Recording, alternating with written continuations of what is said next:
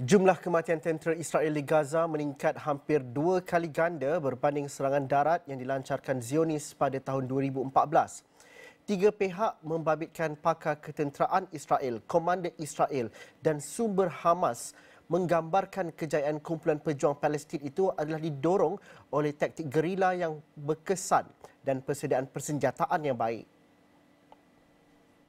Hamas juga memiliki pengetahuan luas berhubung geografi bumi dan rangkaian terowong yang luas untuk menjadikan jalan di Gaza sebagai laluan berselirat penuh perangkap bagi tentera Israel. Berdasarkan angka rasmi Israel, sejak peperangan bermula pada penghujung Oktober, kira-kira 110 askar Israel terbunuh ketika kereta kebal dan infanteri disasarkan ke bandar dan kamp pelarian dengan kira-kira 25% korban adalah kru kereta kebal.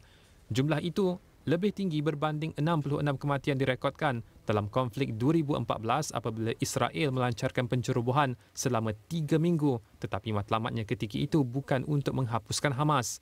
Manakala di pihak Hamas, tentera Israel melaporkan berjaya membunuh sekurang-kurangnya 7,000 pejuang Palestin.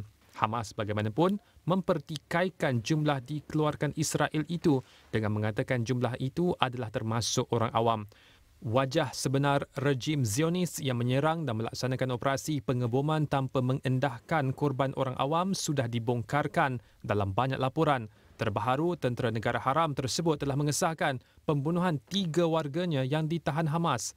Dalam kenyataan yang dikeluarkan, Zionis mengakui mereka keliru mengenal pasti tebusan dibunuh itu sebagai ancaman.